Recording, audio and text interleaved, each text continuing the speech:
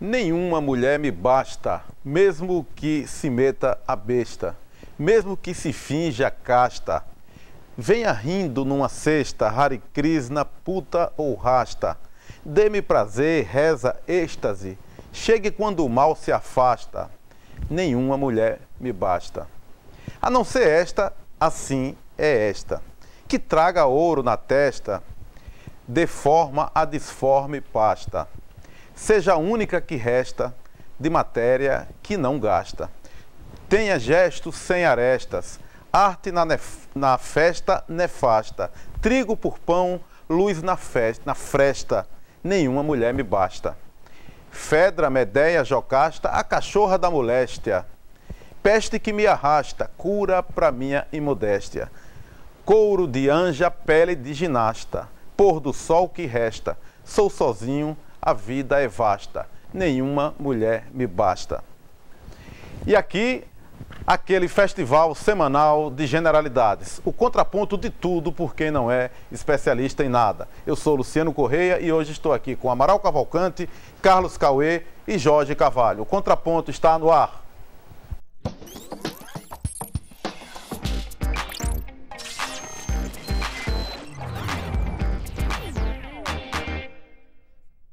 É.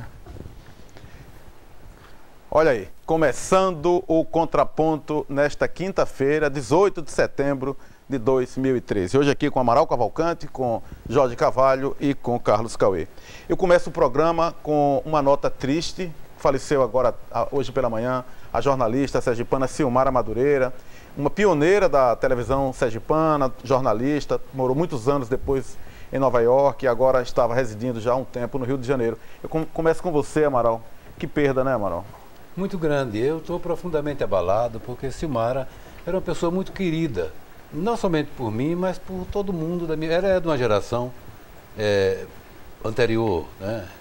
Era bem, bem mais, nova, mais nova, evidentemente. Mas Silmara, o que Silmara tinha era um espírito empreendedor. Ela nasceu para ser produtora. Ela era jornalista, naturalmente teve programa de televisão, sim, sim. mas era uma grande produtora. Silmara ainda menina, acho que na década de, na década de 80, 70. na década de 80, 70. 70, ela produziu com Silvinha Leite ah, já 80, já e com Eliane Moraes um seminário de literatura em Sergipe, e olha que Sergipe uhum. não é o Sergipe de hoje. Ela trouxe simplesmente Enfio, Fausto Wolff. Fausto Wolff. Ziraldo. Você imagina. Hum.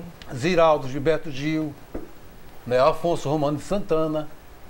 Fez com que todas essas cabeças, que eram naquele tempo as maiores cabeças pensantes né, do, do país, em termos de jornalismo e de arte, convivessem conosco aqui durante toda uma semana. O que, convenhamos, foi muito mais importante do que o próprio seminário. Uhum. Porque a, o bar, a conversa, a convivência, os namoros, por que não dizer, uhum. então nos fizeram os íntimos e a gente ganhou muito com isso. Depois Silmara Madureira, depois Taut, foi para Tautcher, foi uhum. para os Estados Unidos, lá era representante do Fantástico, ela produzia. Produtora do Fantástico. Produtora de matérias para o uhum. Fantástico. Fantástico. E depois de algum tempo retornou ao Aracaju. Silmara era uma. A casa de Silmara. Voltou para o Rio foi para o Rio. Essa. A casa de Silmara, no Rio de Janeiro, era muito bem frequentada. Basta dizer que eu, por exemplo, conheci na casa de Silmara Jorge Maltner. E não conhecia assim de apresentar, não. Convivi, tivemos noitadas, vamos dizer uhum. assim. É, é, o da nota João Gilberto. João Gilberto. Gilberto. Eu digo o da nota som. veja, só, veja só, Amaral, como ele se refere a João Gilberto. É, é conheci Clementina de Jesus. Aquele do, do violãozinho. É. Um, um, prazer enorme Clementina. conheci Clementina de Jesus. E aqui em Aracaju, vindo pelas mãos de Silmara, conheci é, Nelson Cavaquinho, uhum. que inclusive passou uma grande noitada em minha casa, uma noitada histórica que todos nós nos lembramos até hoje. De modo que ela foi importantíssima para a geração dela não é? E de repente, é tão, eu não sei, eu, com a idade que estou, ainda não me acostumo com isso. Eu estou em casa, de repente chega a notícia, Silmara morreu. Como? Não, não é possível. Jorge, você também ficou triste, né? Muito triste, porque eu conheci Silmara, né? Eu, eu no, no, nos primeiros anos da vida juvenil, Silmara, uma menina morando ali na Avenida Simeão Sobral, é, ali no bairro Santo Antônio, que era uma região onde eu também convivia e frequentava muito. E depois conheci já a Silmara, eu trabalhando é, é, na Secretaria da Educação do Estado como jornalista, e Silmara namorando Jorge Lins, né, fazendo teatro no grupo Raízes, né, e uma figura assim que irradiava luz, inteligência, simpatia, uma das mulheres mais bonitas que eu conheci naquele período. Uhum. Eu achava a Silmara, no início dos anos 80, uma figura fascinante, encantadora, sedutora. Né? Essa era a, a, imagem que eu tinha de Silmara. Né? E ela cumpriu essa trajetória de jornalista aqui na TV Sergipe, depois jornalista no Rio de Janeiro, depois jornalista em Nova York, voltou e sempre que reencontrava a Silmara era uma oportunidade de uma conversa inteligente, né, de uma conversa que, dessas que você consome horas e não se cansa.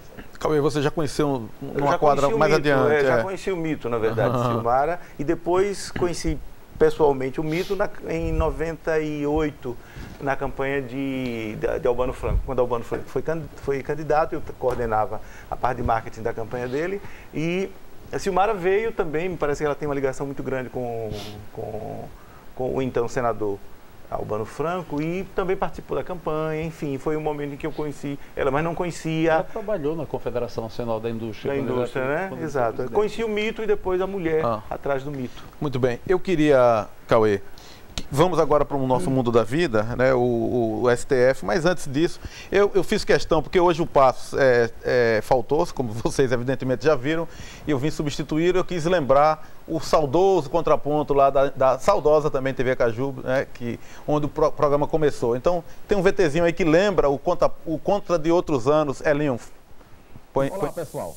Semana farta, aqui passou na continuação do grande show da vida no comando da cena, o próprio espetáculo, Silvio Santos. Em Aracaju, uma semana inteira de cultura popular. O teatro de Ariano Suassuna e a prometida volta do cinema de arte. Na vida real, política graúda e miúda, para todos os gostos.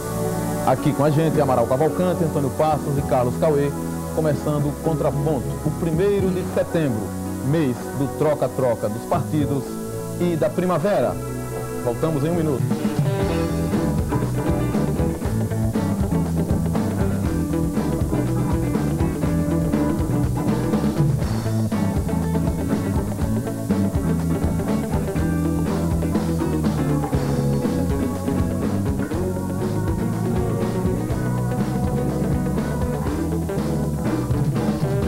Começando o contraponto e começando também uma semana que esperamos sem drama e sem sequestro.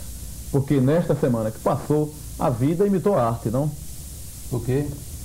Ah, rapaz, é o seguinte, eu acho que desde a morte de Tancredo Neves que o Brasil não tem um tema tão unânime discutido em todas as vielas, becos e escritórios e em todo o canto desse país. Que foi esse sequestro, que teve lances cinematográficos, né? E questões que estão em bocas de Matildes em diversas nuances. Por exemplo, o menino é de uma classe social né, é, e, tem, e convive com a filha de um milionário. É um país maravilhoso que permite essa convivência.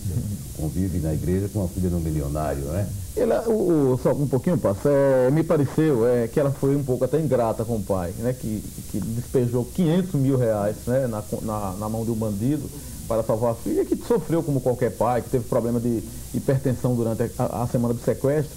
E quando ela aparece na sacada lá da, da casa, é, fala que o pai é, precisa ter mais coração, que os capitalistas, que os governos e tal. E, inclusive, diz que o pai precisa ter Deus no coração. E o pai, na verdade, tem Deus no coração. O Silvio Santos é judeu. Eu, escutando você falar isso, é, eu penso o seguinte: da mesma forma que nós assistimos na televisão, escandalizados, né? alguns exemplos do fundamentalismo islâmico, me parece que as igrejas evangélicas, elas aqui, né, no Brasil, que é a realidade que eu conheço, elas também é, exercitam um certo fundamentalismo, inclusive que se revela até na proibição de determinadas roupas, hábitos é, muito rigorosos do ponto de vista ético e é, há uma presunção, é, até certo ponto perigosa, de que você estaria na religião da verdade e que as outras estão fora disso. Tanto que a filha se refere a Silvio Santos como uma pessoa talvez que não tivesse Deus por não ser da mesma religião apenas. Uma coisa interessante, acho que esse, esse episódio do sequestro da filha de Silvio Santos deveria ser é, assunto para as salas de aulas de comunicação, porque aí é um exemplo claro do, do que se chama hipermediatização, da, a espetacularização da notícia.